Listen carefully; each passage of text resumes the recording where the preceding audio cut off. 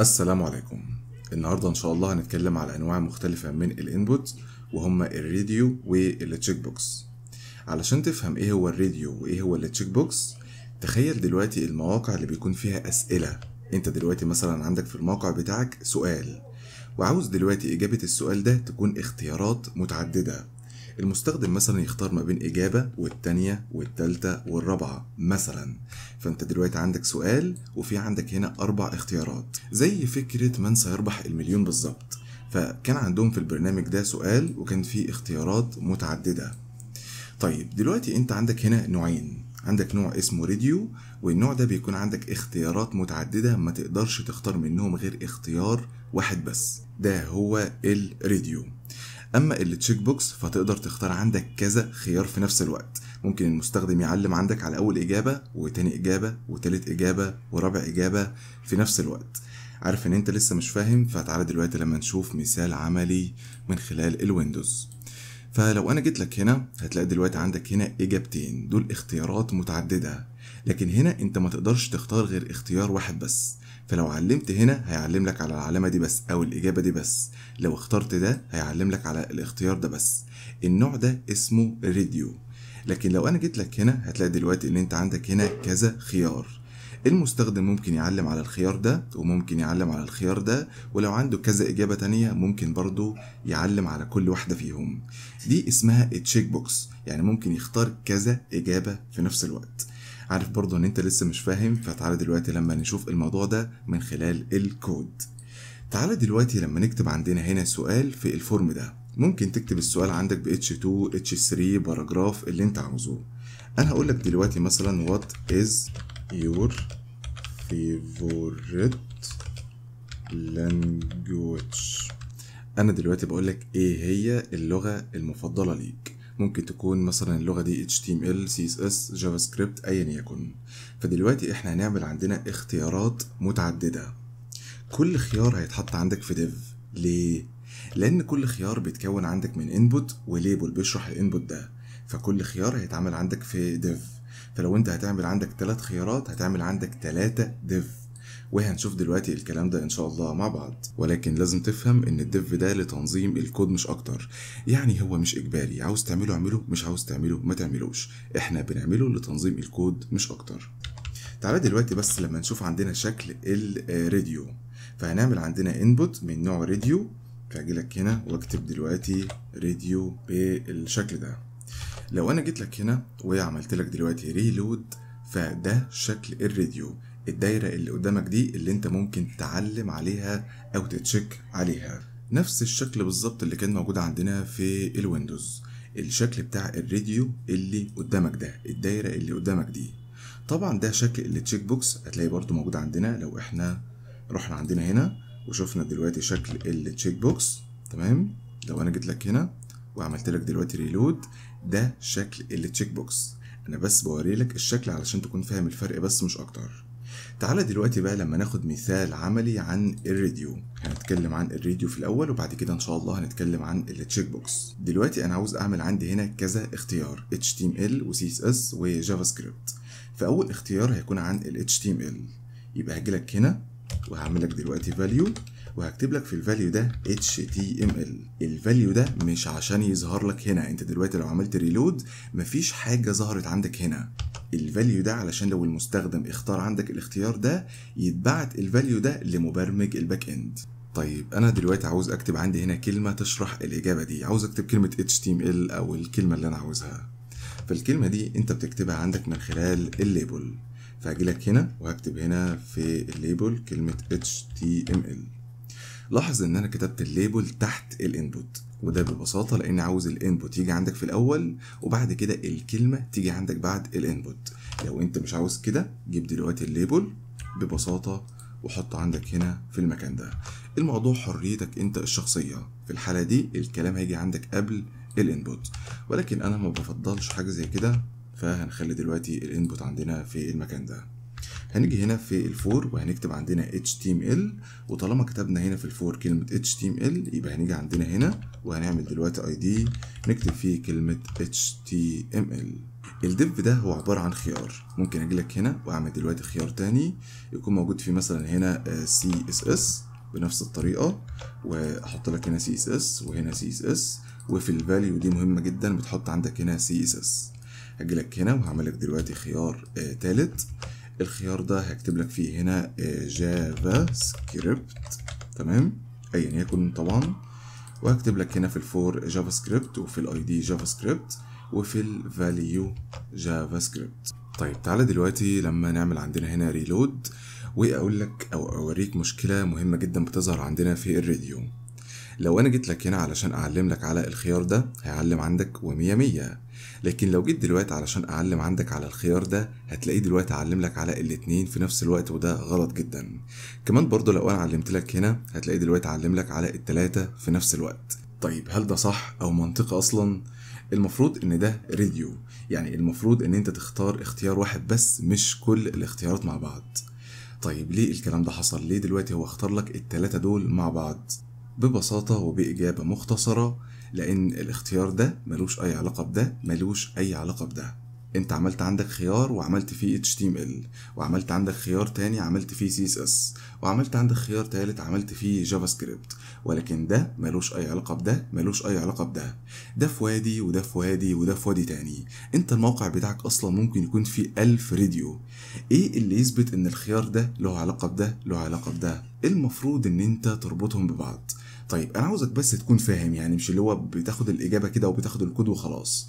علشان تربط ده بده بده المفروض إن أنت تكون فاهم إن دول اختيارات متعددة لإجابة واحدة بس. هي دي الفكرة كلها. المفروض إن دول اختيارات متعددة لإجابة واحدة بس.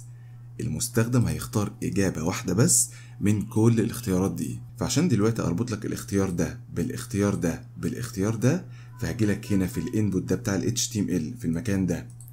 وفي ال input بتاع ال CSS وفي ال input بتاع ال JavaScript وهديلهم نفس ال name بالظبط. اكتب في ال name اللي انت عاوزه. اكتب X اكتب اللي انت عاوزه.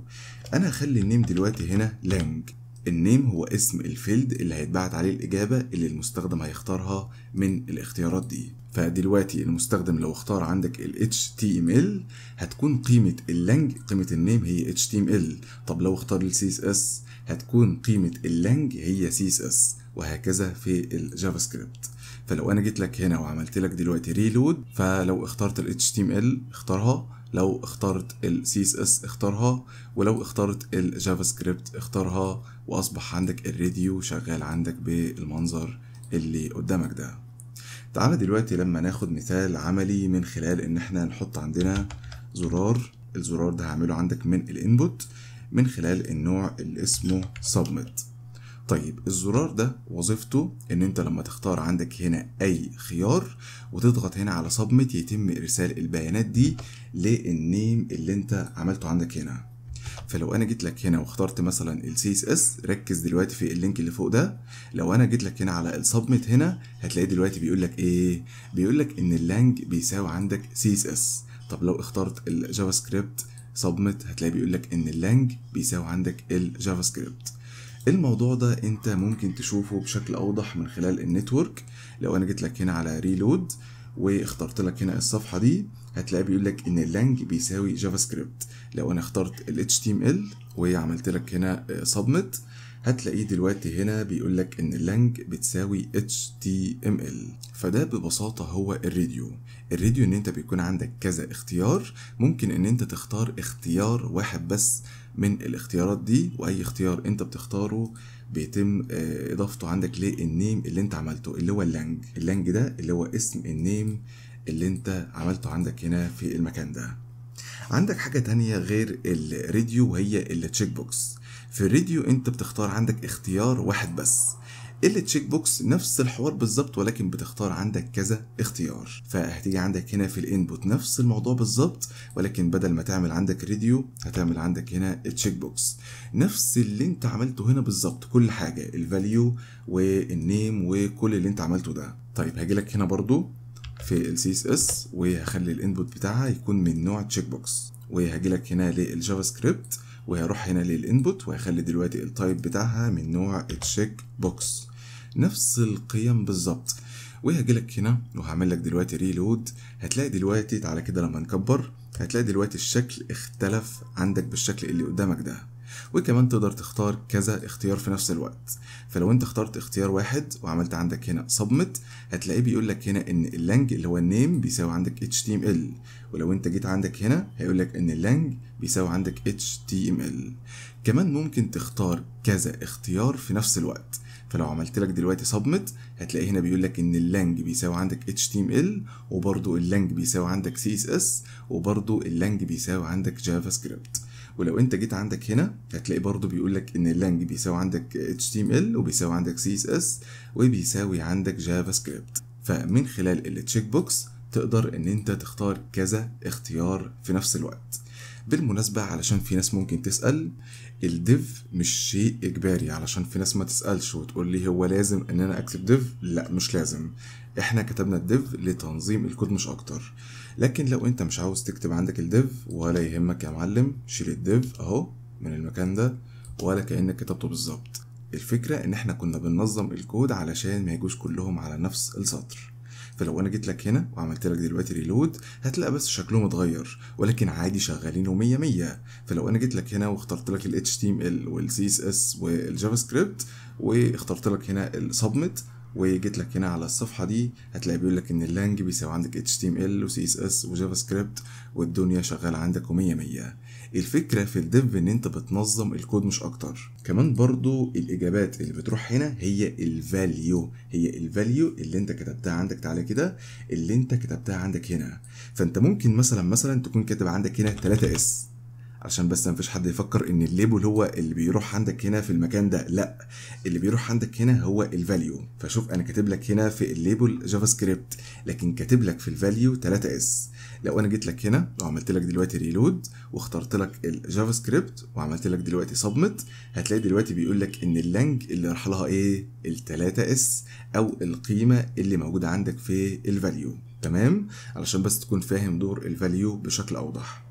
طيب آخر حاجة إن شاء الله هنتكلم عليها وهي ال checked وال checked دي أنت ممكن تستخدمها مع ال checkbox وممكن تستخدمها مع ال radio ال checked دي هو إن أنت كمبرمج بتكون معلم أو مختار خيار بشكل اوتوماتيك يعني دلوقتي أنت بتقول للمستخدم أول ما تعمل هنا reload أنا مثلا هكون معلم لك على الخيار ده أو ده أو ده أو ايا يكن.